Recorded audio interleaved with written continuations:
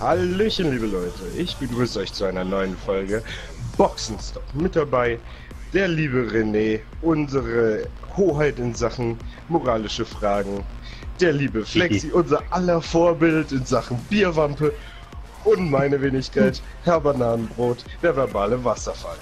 Die heutigen Themen: Kindheitserinnerungen, Kinderserien, Kinderspiele und Spiele, auf die wir uns freuen würden und freuen.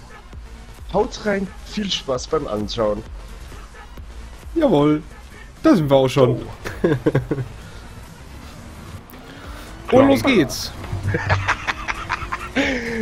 Das war so klar, dass René erstmal den Blumenkübelbesuch abstattet. Er ist ein Blumenkind. Er ist ein Blumenkind.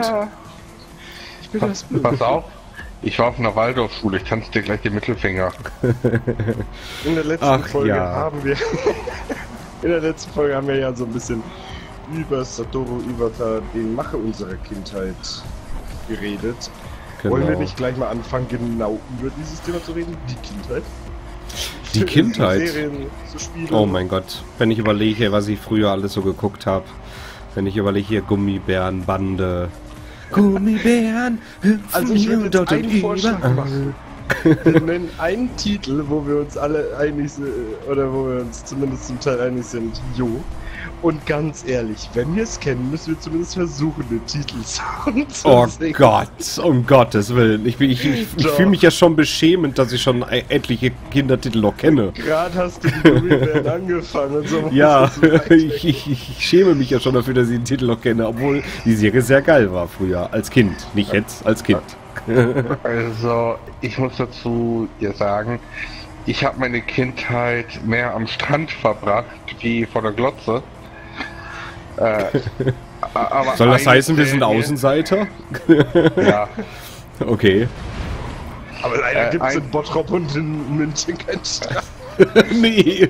ähm, eine Serie, die habe ich früher als Kind gerne geguckt und das war der Doktor. Der Jetzt kommt schon wieder mit Doctor. Who. Jetzt Doctor kommt Who. mit Dr. Who. Mit der TARDIS, ich fand das immer so geil. Ich wollte auch immer so eine Telefonzelle haben. Ja, ich habe mich bis heute noch nicht durchringen können, den mal anzugucken. Schäm dich. Löwenzahn. Dim, Minimal. dim, dim, dim, dim, dim, dim. Wer hat keinen Löwenzahn geguckt? Komm, sei ehrlich. Peter Lustig.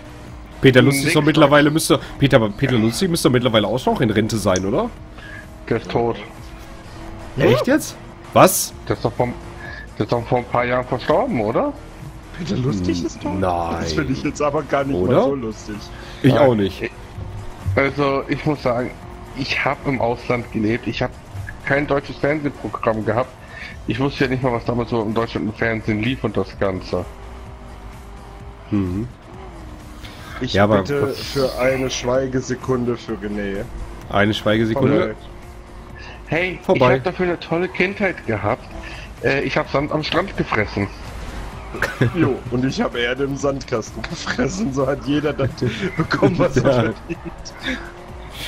Aber wer von euch hatte früher eigentlich auch die, die Volleyballspielerin geguckt, Mila? Ich nicht. Nein? Ich, Boah, Mila, die Volleyballspielerin. von Sailor Moon. Mila kann lachen wie die Sonne in Fujiyama. Finde ich sehr geil. Also, ähm. Ja, da waren schon ein paar sehr interessante Träume dann abends. Okay, okay. Ich muss dazu sagen, in den, letzten, in den letzten Jahren habe ich mich ja sehr zu einem sehr großen Anime-Fan entwickelt. Ich gucke Mhm. Animes heute sehr gerne, auch alte. Also was ich mir jetzt in letzter Zeit reingezogen habe, war alles von Dragon Ball. Mhm. Da kommt ja jetzt eine neue Staffel Oh, Oh, da kommt zu. Dragon Ball Z. Aha, freue ich Ähm. mich schon drauf. Jeder von uns, denke ich mal, hatte so, so als kleiner Junge so, so eine Frau, in die er sich verknallt hat, in so aus, aus Serien, Filmen, sowas. Mhm. Äh, Bei dir. Bei mir, bei mir war es wie gesagt Mila, die Volleyballspielerin. Ah, okay, Ist bei so. dir war es die Wollerin. Wolleschall. Volleyschall, Volleyschallspielerin. Volleyschalterin. So. Ich muss ein bisschen konferieren. René, Konferieren? Der liebe Hermann Abendbrot konferiert mal wieder. Ich muss mich konferieren. Ja. Oh, jetzt seid ihr weg. Aber fahrt einfach weiter. Na, wir bleiben. Fahrt einfach weiter, dann tauchen wir gleich schon auf. Ah, jo. So, sagst du an. Ja. Komm, bei Buffy. dir gab's doch auch eine. Was, Barbie? Buffy. Ach, Buffy. Ich hab. Barbie verstanden. Okay, bei mir Nein. war es die Elfe vom Weihnachtsmann. Trixie aus Weihnachtsmann und Coca. Ich, eig, eig, eigentlich hätte ich dir ja eher zugetraut, dass du jetzt He-Man sagst. Nein. Nicht Bei der Macht von Grayskull. Ich steche dieses Schwert in ein feuchtes Loch. bei der Macht von Grayskull. Immer den Finger ins feuchte Loch stecken. Oh Mann, wir gehen in eine falsche Richtung. Ja, das stimmt, da hast du auch wieder recht. Und von wem kam es wieder? Von mir, wie immer. Oi, der sah gut aus. Wer fährt den Ja. blauen? Ähm, in Sachen Disney, was kommt was Disney? Chip und Chat. Oh, Disney. Baymax. Ähm, Disney. Also da waren auch hier die ganzen früher, die alten hier, Don Röschen, Bambi. Boah, voll geile Filme, ohne Scheiß. Die sieben Zwerge. Wir hatten Hammer. mal eine Kassette, das war so, so, so eine Weihnachts-Disney-Kassette, wo, wo zum Beispiel Mickey, Donald und Goofy äh, einen Geist Oh. gesehen haben. Also so diese Folgen, wo Donald noch Ja, ja, immer sich aufgeregt hat bei Chip und Chip, das war immer geil. Gegen die Eichhörnchen hab immer, das war immer die so hab ich geil. fast jeden Tag angeguckt, bis die Kassette kaputt war. Ja. A-Hörnchen und B-Hörnchen Ja, auch Chip und. Chap. A-Hörnchen und Äh, B-Hörnchen, ja. Chip und Chap. Mit Donald, wo die den, den immer geärgert haben und er sich immer, immer voll aufgeregt. Ich weiß nicht. Nee, ich glaube, die Folge wurde in Deutschland nie ausgestrahlt. Äh, es gab da mal so eine, so eine Mini-Folge. Hm? Da sah Donald so ein bisschen aus wie der Führer und hat sich auf Ja, A- das und B-Hörnchenjagd gemacht. Okay. Das war aber eine sehr frühe Folge. Ja. Oh, Mickey Mouse auch Mhm. immer früher gerne geguckt. Mickey Mouse Folgen waren nochmal geil. Also was, also zum Thema Mickey Mouse, ich weiß, ihr kennt das Mickey Mouse Magazin? Mhm. Ja, Ja. Weißt du, wann ich das das erste Mal abonniert habe? Hä? Mit 16. Okay. Ich Hey. meinem 19. Geburtstag bekommen. Hey, Okay. ähm, ich bin 27 und ich kaufe heute noch regelmäßig. Ja. Ich habe einer meiner besten Freunde. Wodurch sind wir Freunde geworden? Der hat mir immer an der Bushaltestelle, während wir auf den Bus gewartet sind, die neuesten Witze aus dem Mickey Mouse Magazin äh, erzählt. Ich so jeden Tag so, oh ja, und gibt's neue Jojo. Jojo. Ja, vor allem die, die Dummhausener Witze immer. ja. Hm? Ja, was Wer auch kennt sie nicht? Witze sind. äh, Mickey Mouse, da habe ich sogar im Kiosk damals in Spanien gehabt. Die konnten die bestellen für mich. Ich habe die jeden Montag bekommen. Obwohl es in Deutschland donnerstags rauskam. Ich muss aber sagen, was ich als Kind lieber gelesen habe, war Asterix. Okay. Hm, lustige ich- Taschenbücher. Da habe ich gerne die Dings, da habe ich gerne die Filme geguckt, also die Comics. Muss ich ganz ehrlich Ja, sagen. die Comicfilme sind. Ey. Ähm, Guckt euch mal Asterix und Obelix auf Hessisch an. Äh, ich habe Asterix und Obelix auf Hessisch gelesen, auf Bayerisch gelesen. Am schlimmsten ist es auf Holländisch. Ähm, Geht, auf Holländisch. geht, geht mal auf YouTube und gebt Gummibärenbande Holländisch ein. Ich, ich glaube, Miraculix heißt auf Holländisch Magic Drink Mix. Magic Drink nix. Ja. Verstehe ich nicht.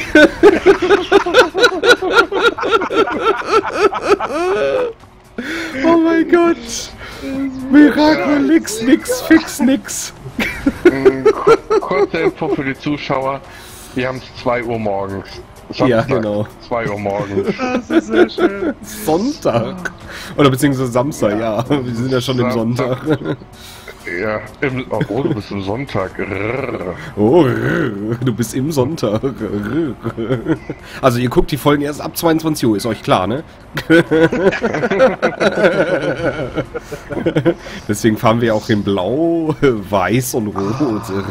Die Looney Tunes waren aber auch. Ah, ey, Looney Tunes war nicht immer geil mit dem da- Kojoten. Mit dem Kojoten und dem Roadrunner. Das ist immer so geil gewesen. Ich kann mich noch an der einen Folge erinnern, wo er auf die Straße so einen Tun- Tunnel gemalt hat, wo die Straße weitergeführt wird. Und der Roadrunner rennt einfach durch und er denkt so, hm, geht so auf die Straße und guckt, warum geht er. Auf einmal kommt ein LKW ihm ihm entgegen. Das war so Oder er steht auf dem, weißt du, da ist so, so ein Felsvorsprung. Der Roadrunner steht ganz vorne. Ja, er kommt mit Messer und Gabel Ja. und bricht ab das Stück, wo ich auf das Stück, wo der Roadrunner ist, schwimmt in der Luft.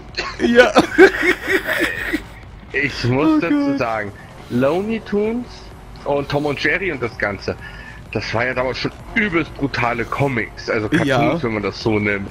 Ja, Das, klar. dürf, ja. das dürftest du heutzutage nicht mehr ausstrahlen. Nee, nee. Äh, danach, naja, sagen wir so ein paar Jahre danach, kennt einer von euch die Tex Avery Show? Sagt mir was, ja. Da waren auch immer so verschiedene Charaktere, so immer so zwei oder drei, die sich gegenseitig äh, halt. Das war auch schon recht brutal. So die beiden Cowboys oder sowas. Mhm. Äh, oh, Lucky Luke habe ich früher auch mhm. gerne geguckt. Hm? Weil du gerade ansprachst, äh, äh, Cowboys. Lucky Luke habe ich gerne geguckt früher. Ja, klar, Lucky Luke und Johnny. Jumper. Fahrt mal ein bisschen langsamer. Jo. Jo. Oh, ja, Johnny Jumper, die Daltons. Ja, die Der- Dolphins waren immer geil. Der Bestatter, der vor einem Gefecht immer schon zu Lucky oder so hingegangen ist und die Maße Zum Auszumessen, ja. Also war mein, ähm, so ein bisschen meine Kindheit an Film und Serien wurde von meinem Vater ein bisschen kaputt gemacht. Aber mein Vater war ein sehr großer Western-Fan. Wer ist es So, heute Und noch? damit ist das auch auf YouTube. Ja, kann, kann, das, das kann er sich von mir aus angucken, ist mir wurscht. Papa, ich hasse dich dafür, ich hasse dich dafür, ich hasse Western. Ich hasse alles, was mit Western zu tun hat. Das Schlimme ist, dadurch heute. kann er nie Bud Spencer richtig anschauen. Ich mag Western. also die Bud Spencer Es, es, es, hat, es hat mir gereicht, als Neunjähriger dazu genötigt zu werden, wie einen kompletten Sonntagabend, Sonntag, Tag, Mhm. komplett, erst Bud Spencer, Bud Spencer, Bud Spencer, Bud Spencer, Qualifying, Formel 1, Bud Spencer, Bud Spencer, Bud Spencer, Bud Spencer. äh, oder andere Western, Winnetou, äh, wie, he- wie heißt der andere, John Wayne, Clint Eastwood. Ja. Gut, dass Winnetou Ähm, einen fertig macht, ist klar. Aber hey, Ich Clint war, Eastwood ich für war eine mit 16 Jahren Ich hatte einen Unfall. Ja, wir bleiben ich kann mich, stehen. noch- ich kann Ich mich noch erinnern, 16 geschädigt davon. aber ganz Ja, ehrlich, gut, weißt, das ich kann mich bei Clint Eastwood bleibt ja dann nicht aus, klar. legendäre Stelle. Zwei glorreiche Halunken. Er hat gerade einen gefangen, weißt du, hat so eine Zigarre. Er, der Gefangene ist nur am Meckern, gibt ihm so Zig die Zigarre, zieh ein paar Mal, dann kannst du gut kacken. Boah, was macht der Bus hier? Ich hab mich so geküsst. Nee, ich kann, ich kann keine Western mal gucken. Wir hatten ja auch mal die Diskussion wegen, wie heißt das Spiel? Red Dead Redemption? Red Dead Redemption. Ja. Ja, oh. Könnte ich, könnte ich nicht Oh. spielen, weil da sofort diesen so, so, so, so, so, so ein Wirkreiz hochkommt. Frauen mit dem Lasso fangen und auf die Bahngleise legen. Und auf Ja. die äh, Blutwolke warten. Äh, Dafür dann eine Trophäe bekommen. Ja. äh, äh, Ich würde mir, ich würd mir ja wünschen, Red Dead 2, das wäre schon ganz geil. Vor allem, ich bin auf die Idee Da- gekommen, ohne da dass ich wusste, Thema dass es die Gamescom. Trophäe gibt. Ich auch, ich auch. Ich so, hey, Lasso, du kannst Leute fangen, warum nicht auf die Bahngleise was passiert? ja. Also, Ach, ähm, ja. Gamescom, sind wir ja genau. Thema Gamescom. Ganz ehrlich, ich habe keine Ahnung, was alles auf der Gamescom vorgestellt wird. Also Ich bin, also Jahr. wir werden auf jeden Fall, wir werden auf jeden Fall, na klar, die, die, die ganzen Ankündigungen auch von der E3 sehen, wie zum Beispiel Fallout und sowas, das, das Ja. werden wir alles, das Oh. werden wir alles dort sehen von Bethesda, die No ganzen Man's Klamotten, Sky. No Man's Sky, wo ich mich auch sehr drauf Zu freue. No Man's Sky würde ich ja was ganz sagen, das ist schon bemerkenswert, dass dieses Spiel nur, nur von vier Leuten Vier Leute, äh, ja. äh, entwickelt wurde. Aber Ja. was ich jetzt gelesen habe, ist halt wirklich genial. Du bräuchtest, wenn du jeden Planeten nur eine Sekunde besuchst, fünf Milliarden Jahre, um das Universum zu erforschen, weil es so riesig Ja. ist. Ja. Ganz ehrlich, stell dir das vor, du schmeißt das Spiel an, du gehst eine Stunde rum und kannst mit 99%iger wahrscheinlich noch mehr Genauigkeit, Wahrscheinlichkeit sagen, die Planeten, wo ich jetzt war, wird keine Sau je mehr sehen. Nein. Nein. Ja. Und äh, wie gesagt, auch auf der Gamescom werden wir wahrscheinlich dann auch äh, hier Point Morpheus wieder sehen und äh, da Mhm. bin ich sehr gespannt drauf. Ich bin ja dieses Jahr da und ich lasse mich echt überraschen, ob ich da auch mal drankomme, ob ich mir das mal wirklich angucken kann in live und ob ich das auch mal wirklich tragen darf und ob wie das Ja. ist und alles. Bin ich sehr würde gerne gespannt. was sagen. Ich Ja. habe letztens ein kurzes Video gesehen. Da hat jemand Battlefield 4 gespielt. Mit, Mhm. ähm, ich glaube, äh, Oculus Rift oder Project Morpheus auf dem Kopf. Mit Mhm. einer Wii U, äh, mit so einem Wii U äh, Gewehrcontroller. Oder Mhm. Wii Gewehrcontroller. Ach, wir sind da übrigens. Mhm. Und ähm, dieses Teil, wo du drin stehst und festgeschnallt wirst und selber gehen kannst. Oh ja. Das hat so geil ausgesehen. Ich wollte das unbedingt machen. So was habe ich auch schon bei Skyrim gesehen. Bei Skyrim selber doch die Welt. Ich dachte mir, leck mich, ich muss das haben. Preis. Ja. Ich muss dazu zum Projekt Morphos mal sagen, ich hoffe, das Ding hat eine bessere Verarbeitung und Qualität wie das Original Sony äh, kabellose Headset. Ja, du bist da ja jetzt ein bisschen vorgeschädigt. Ich sag nur Heißkleber. Ja. Eiskleber. Weißt du, was glaubst du, wie oft ich mir die Finger verbrannt habe? ich kenne da was von. so, wir können wieder weiter, wenn ihr wollt. da, da, oben, da oben fliegt gerade ein Flugzeug entlang mit einem Shuttle auf dem Rücken, ja? Aber ich muss für mein Übergepäck äh, 20 Euro bezahlen. Ja. Das ist doch eine Verarsche. Apropos Flieger und Shuttle, habt ihr gewusst, äh, Pornhub will jetzt ein Porno drehen bei Schwerelosigkeitsflügen. also bei Ja. Parabelflügen. Äh, Am Parabelflug. Ja, aber muss ich jetzt Ähm, unbedingt nicht hier ähm, thematisieren. Ja, Reicht schon, dass du äh, ein Das- das- das- Batman-Shirt anhast und das Thema ansprichst. Also, also mein Lieblings-Superheld ist ja der Hulk. Der Hulk. Ähm, Lieblings- Sieht schon aus wie so ein Hulk. Äh, Lieblings-Superheld reingeschmissen kurz, ja. Batman und äh, den, der Ghost Rider. Ich liebe den Ghost Rider. Gespielt von Dings, äh, Nicolas Ähm, Cage. Nicolas Cage. Ähm, Ganz ehrlich, ich hätte mir als Spieler äh, Viggo Mortensen, der Aragorn gespielt hat, der wäre ein geiler Ghost Rider geworden. Ah. Batman mag ich nicht. Ja, aber das müssen wir jetzt nicht mehr thematisieren. Du hast mir bereits Okay. gesagt, warum und ich verstehe was- das. was wollte ich denn- Dein Lieblings-Superheld? Mein Lieblings-Superheld. Äh, lass mich mal ganz kurz überlegen. du selbst. Mein Lieblings-Superheld ist immer noch der Punisher. Oh ja. Ganz Ähm, ehrlich, aber alle sagen immer zum Beispiel, der ist voll scheiße, aber Aquaman ist sau cool. Ja. Aquaman hat Superman, ist genauso stark wie Superman, hat den im 1 zu 1 richtig schön den Arsch aufgerissen. Also er ist da muss ich Poseidon, er kann das Meer beherrschen, er kann, er, er kann doch Portale kriegen. Warum muss ich gerade an der Big Bang Theory, an die Folge denken, wo Raj sich als Aquaman verkleiden musste? Ja, und mit jedem tauschen will. Aquaman Aber ist scheiße. Aquaman ist Ähm, cool.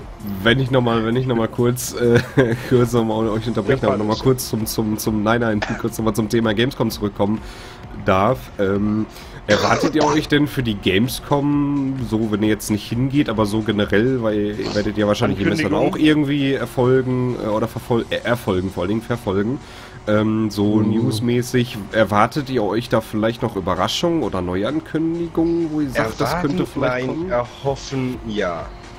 Ähm, ich sag's mal so, ich weiß, dass du dorthin gehst und du uns sowieso über alles informieren wirst. Also werde ich das nirgendwo auf News zu folgen müssen. Ja, klar, aber wo du jetzt sagst, hm, vielleicht eine, wo du sagst, hm, das könnte vielleicht sein, dass es vielleicht doch da noch was Warte, angekündigt schaut mal, wo ich jetzt rauskomme. Schaut mal. Ich bin sowieso gespannt. Also das Einzige, das Einzige, wo ich auf Gamescom gespannt bin, ist, ob Square Enix weitere Informationen zu Final Fantasy VII veröffentlicht. Und Hm. Fallout 4, dachte du, wärst du auch. Hm, Fallout 4, da will ich aber noch ein Release-Datum hören, genaues. Das Ja, reicht gut. mir. Ich mhm. bin, äh, ob sie auch ein bisschen mehr über Ghost Recon äh, berichten. Ja, ja, ob das da bin ich auch sehr gespannt. So wie, so wie wir es gesehen haben auf der E3, wirklich Open World World in Bezug ganze Welt. Mhm. Weil da mhm. war nämlich so die Karte wie bei der Crew gezeigt, so nicht genau. nur Amerika, sondern die ganze Welt. Und da bin ich mal gespannt, ob man da mal sagen kann, oh komm, äh, wir haben Mission in Berlin. Äh, nee, wir müssen jetzt nach äh, Sri Lanka fliegen, nee, nach, äh, nach Tokio und das Ganze ist so ein bisschen ich denke mal, da richtig herumreist. Aber wir sind immer noch so am Schwanken, oder? Zwischen Ghost Recon, Ghost Recon ist egal, und Rainbow Six Siege. Ich hole sie ja beide. Ja gut, aber wie gesagt, Rainbow Six ist äh, zwar auch mein Fall, aber nicht in der... Also Rainbow Six Siege ist ein geiles Game, habe ich ja glaube ich, ich glaube ich habe, wir haben es glaube ich schon mal diskutiert, ich bin mir aber nicht ganz sicher. Ja, ähm, haben wir diskutiert, da war halt das Problem, genau. du brauchst vier Spieler und wenn du, ja. du hast zwar drei und da wird dann einer per Zufall der dazu generiert. Dazu geworfen, genau. der äh, sich nicht mit absprechen will oder der halt oder den nicht kennst. nicht Deutsch spricht und nicht mit dem kommunizieren kannst, ist das ja. kacke. Oder der halt kein Headset hat ja. und nicht mit in die Party kommt, um sich abzusprechen, ist das ziemlich ja. doof. Meiner Meinung nach wirklich ist es so. Also du brauchst da wirklich schon Leute, die intensiv auch mit dir dann zusammenspielen, weil das ist eher ein taktischer Shooter, wo du wirklich auch dich absprechen musst. Immer da mach du das und das und hier und hier. Und nicht wildes Draufgedresche wie Call of Duty und Battlefield. Oder jeder quasi oh, mal so ja. sein eigenes Ding macht. Ja, klar. Na? Ich bin bei der Gamescom mehr äh, als die offiziellen Ankündigungen gespannt auf Gerüchte. Gerüchte, die hm. Entwickler hm. auch streuen in, in, Interviews, in Gesprächen, wenn ihnen mal was rausrutscht. Sorry. Oder wo, wo einfach Gerüchte, weil beispielsweise Interviews über die Möglichkeiten der Entwickler, was sie mit einer Fortsetzung ihrer Reihe auf der neuen mhm. Konsole erreichen könnten. Dann sagen mhm. sie mir, ja, im neuen Spiel könnte das und das sein. Dann können, kommen immer schon so Gerüchte, hey, ja, so könnte es werden und so. Das einzige Spiel, wo ich äh, definitiv Infos haben will, über die anderen sind eigentlich bis jetzt alle draußen, die ich mir zusammenfahren konnte, ist mhm. Dishonored 2. Oh ja, da freue ich mich auch schon sehr drauf. Habe ich auch schon vorbestellt im Übrigen. Äh, und vielleicht äh, ein paar Sachen, die letztes Jahr auf der Gamescom auf den Pressekonferenzen schon vorgestellt wurden, beispielsweise Rhyme oder ähm, wie hieß es, dieses eine Cell-Shading-Game, auch mit die ist, ist äh, egal. Ja, auch alle, alle sitzen zu schnell für die Kurve und krackern die Bande. Entschuldige. Nö, ich hab's mal einfach leicht gemacht. Ich bin einfach kein Fan.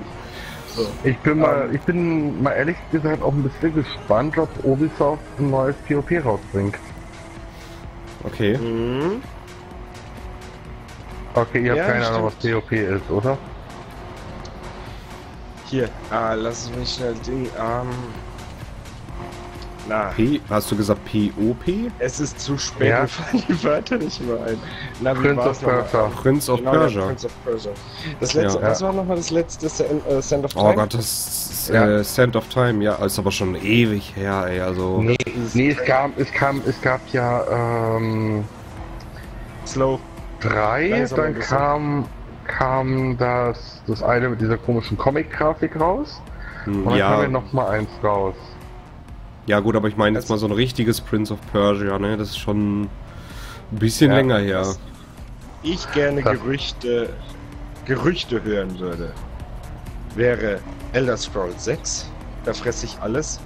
Ich, okay. ich will unbedingt endlich ein neues Elder Scrolls 6. Ich habe mit Kollegen schon wirklich tagelang damit verbracht, über Möglichkeiten, da ich ja auch ein bisschen mehr über das weiß als über jedes andere Game, mhm. äh, zu diskutieren, wie das neue Setting ausfallen könnte, was man ähm, am Gameplay verbessern könnte. Kurze Unterbrechung, liebe Leute, ja. die auf den Stream vom Herrn Bananenbrot äh, gucken. Zwei Themen dürft ihr niemals ansprechen, was sonst labert er euch ein Ohr ab. Das ist Skyrim und, und Pokémon. Das dürft ihr nie ansprechen. Der fängt an zu reden und ihr braucht einen Exorzisten, um den zu stoppen. ja, das stimmt. Wenn ihr es hören wollt, beim nächsten Mal einfach mal das Thema anschneiden, beim nächsten Mal Minecraft. Ähm, so. Welche, ich sag mal, welche Serie würdet ihr euch denn wünschen, weitergeführt zu werden, jetzt von Spiele her? Ich wollte es gerade sagen. Ähm, L.A. Noir. Mhm. Ähm, Red Dead Redemption Oh ja. Oh sind ja. die beiden beides grandiose Games. L.A. Noir war so cool mit, mit dieser Cap Motion Capture Technologie, die das Entwicklerstudio in den Bankrott getrieben hat. Als es so gut war. Ähm, Also so spontan Dann- fällt mir nur ein Spiel ein, aber wo die Entwickler schon gesagt haben, es wird nie ein zweites geben. The Last of Us Doch, hätte ich gern Doch, kommt. von. kommt der? kommt. Zweiten Kommt Teil. doch. Haben sie schon vor kurzem jetzt gesagt gehabt. Äh, kommt aber erst nach Uncharted jetzt weiterentwickelt. Also wird, wird angefangen damit. Weil sie hätten Also, eigentlich gar nicht damit ähm, gerechnet, dass es so einen guten Erfolg hätte, weil sie haben damit gerechnet, dass es ein Flop wird. Wann, wann, wann, Ja. wann hast du das denn gelesen? Das war vor einer Woche jetzt, glaube ich. Ich glaube, Anfang der Woche habe ich es gelesen. Weil ich Mhm. habe vor ein paar Monaten gelesen gehabt, dass man die- diese Spielserie nicht fortsetzen wird, kein Franchise draus macht, weil es hat so ein tolles Ende bekommen. Ja, äh, gut, das, wollen sie jetzt mit einer mit nochmal äh, nicht äh, kaputt machen. Es kann eventuell sein, dass ein Add-on da, da noch dazu kommt, Oder? wo eine andere Seite der Geschichte erzählt wird. Das wollte Ja, ich gerade also- sagen. Ein eigenständiges Spiel, kein Add-on, sondern Genau. eine genauso fesselnde, aber andere Story Aber sie haben, zeitgleich. sie haben auf jeden Fall gesagt, Vielleicht- dass sie haben damit gerechnet eigentlich, dass das Last of Us 1 halt ein Flop wird. So, und die hätten nicht mit dem, mit dem halt das gerechnet, dass es so gut ankommt. Und sie haben auch im gleichen Ton gesagt, dass halt The Last of Us 2 kommen wird. Aber halt erstmal ist Uncharted jetzt an der Reihe. Aber Ja. Lexi beispielsweise, stell dir doch mal vor, dass sich, äh, oder René, du auch natürlich, dass sich ähm, dieses, äh, wenn so sollte es so sein, dass sich dieses neue Last of Us 2 storytechnisch ein bisschen dem Einser kreuzt, dass sich die Wege, wenn es zeitgleich passiert, der Protagonisten aus beiden Spielen so ein bisschen kreuzen in der Story. Mm, Ja gut, ich könnte mir auch gut vorstellen, dass vielleicht äh, die Geschichte weitergeführt wird mit Ellie, wenn sie größer ist. Dass vielleicht, könnte äh, dass sie vielleicht um ihr Überleben kämpfen muss. Irgendwie Bei ihm war es sowas. ja auch so ein Sprung Ne? vom Intro zum Hauptgame. Ja. Ja, ich muss aber auch ganz ehrlich Dass sagen, man vielleicht The Last of mitbekommt, Us- wie, wie dann halt äh, Joel vielleicht stirbt oder so. Und dann, dass sie halt, äh, wie gesagt, alleine weiterziehen muss. Nach, sag mal, 20 Jahren oder so. Könnte Ja. sein. Also ich muss sagen, The Last of Us war für mich das Highlight auf der PS3, seitdem sie draußen war. Das war für mich ein Spiel, da musste ich am Anfang die ersten Szenen, ich habe angefangen zu flennen. Mhm. Ich musste, Ja. wo er seine tote Tochter in den Arm hält. Ich musste, ich habe auch die ungeschnittene Version gehabt. Mhm. Ich habe Rotz und Wasser geheult, weil das mich einfach so emotional ergriffen hat. Ja. Das war eine, die Stelle, das, die mich da so am meisten, nicht bei Last of Us, sondern bei Red Dead Redemption. Also es gab Wo jetzt nur zwei. Am Ende stirbt. Es Oh gab ja, nur auch zwei. Spiele, wo ich, doch, wo ich geheult habe. Es gab wirklich, wirklich, es war Final Fantasy VII, als Sephiroth Ari- Ariet getötet hat. Da hat man auf den Endgegner einen richtigen Hass bekommen. Richtig, das war, das war übelst. Und halt bei The Last of Us, da musste ich auch, also das war emotional packend, grafisch eine Meisterleistung, Gameplay-mäßig geil. Hm. Ähm, äh, sag, äh, lach nicht, äh, bei mir waren es Red Dead Redemption und ähm, die Endszene bei Dragon Age 2, Oh, die war Okay. auch übel. wo man sich entscheiden musste auch wieder mal und Ähm. diesmal war halt wirklich, dass äh, er stirbt, einer, dem man äh, sich anvertraut hat, mit dem man oft gekämpft hat, oder der andere halt. Hm. Ähm, zu den Themen muss ich- muss ich ganz kurz ansprechen. Weißt du, was bei mir gerade übers Headset läuft? Hm. Dragon Age Miracle 2. of Science, äh, äh, Mi- Miracle of Miracle Sound, of Dragon Sound. Age. Fight for- Dragon Age oder Dragon Age 3? Dragon Age. okay. Also, ähm, die Grundversion. Age fellows. values and fight for your friends. Ähm, ich möchte hier keine Werbung machen, aber das ist halt einer, der macht Musik zu Videospielen. Wir sind einfach emotional ergreifend. Ja, sehr ohne Scheiß. René und ich, wir haben so ein paar Songs. Schaut ihn euch an, wir werden vielleicht. Können wir also sowas machen? Verlinken unter dem Video. von den, von den sagen. Songs. Ja. Ja, das Ja, wäre. Äh, müssen wir mal gucken, keine Ahnung. Müsste ich mich mal informieren. Müssen wir mal Ja, aber schauen. der hat wirklich, ähm, können wir auch mal ansprechen, Musik oder so. Musik allgemein zu Games jetzt, solche? Ja, ja, Ja, ich- Soundtracks. das wäre gar nicht. Das wäre aber mal gar nicht so schlecht vielleicht für die nächste Folge oder so, Boxenstopp, denn wir sind Würde schon. Uha, wir sind schon ja ein bisschen über dem Limit. Aber das macht ja, uha, das macht ja nichts. Und ähm, Wir Ja, vielleicht- schön vielleicht ist stellen es- wir uns einfach mal hin. vielleicht ist das nächste Thema ja wirklich äh, wirklich Musik. Soundtracks, in der nächsten Folge. Lieder, die wir lieben, Lieder, die uns was Warte, bedeuten. warte, warte, René, stell dich mal uns gegenüber, dass wir so ein bisschen. ja, habe ich ja gerade vor. Genau. Warte. Ja, nee, Man war. René, du musst von der anderen Seite kommen. Oh. auch von der anderen Seite kommen. Er kommen oder gehen? Oh. Naja, Ranfahren. ranfahren. Naja, ich würde auf jeden Fall sagen, wir sehen uns in einer weiteren Folge Boxenstopp. Ihr bleibt uns treu und macht's gut. Ciao, ciao. Macht's gut, ciao, Haut ciao. rein, bis zum nächsten Mal.